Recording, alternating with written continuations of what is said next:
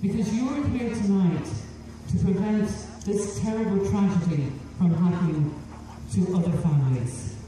Because with your help, we can create a tomorrow for someone who only sees an end. With your help, the invisible subject of suicide, we can make it visible. And with your help, we can bring people from the dark into light.